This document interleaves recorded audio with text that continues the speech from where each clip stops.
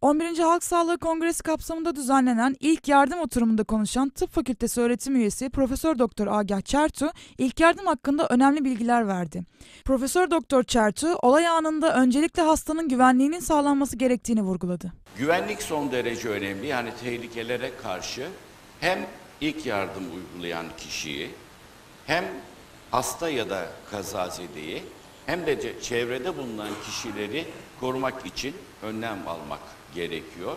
Yaşamı tehdit eden bir tehlike yoksa, yaralının bilinci açıksa yerinden kıpırdatılmaması gerektiğini dile getiren Profesör Doktor Çertu, acil servis gelene kadar yaralıya müdahale edilmeden beklenmeli dedi.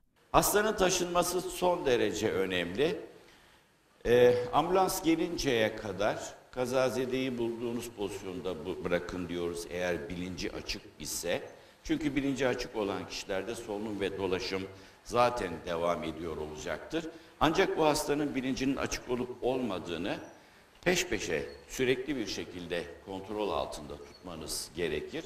Ve bu arada hastanın ya da kazazedenin vücudunun her tarafını şöyle bir kontrol ederek buralarda bir değişiklik olup olmadığına bakmak e, uygun olacaktır.